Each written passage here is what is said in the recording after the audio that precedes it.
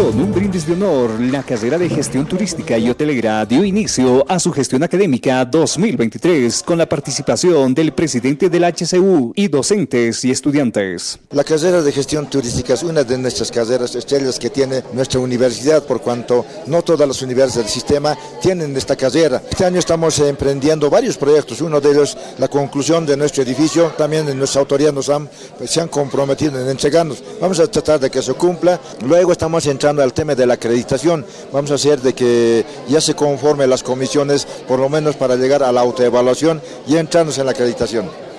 Evidentemente la carrera de turismo en este poco tiempo se ha destacado por generar y promover profesionales que puedan aportar no solamente al contexto geográfico local, sino también al nacional. Las palabras de sus autoridades están construyendo infraestructura meritoria para la carrera de turismo ya están en su segunda y tercera fase. Muchas gracias a las autoridades, lo van a disfrutar, lo van a aprovechar muy bien académicamente sus estudiantes y docentes. Siendo una carrera práctica, las clases presenciales coadyuvarán con el aprendizaje de estudiantes en su formación. Tenemos toda la buena energía, toda la buena vibra de que de poder empezar un nuevo año 2023. Las clases van a ser 100% presenciales en, en nuestra carrera de turismo, porque nosotros más que todo estamos velando la parte práctica, ¿no? Nosotros somos más prácticos por el hecho del guiaje, de la gastronomía, de la hotelería.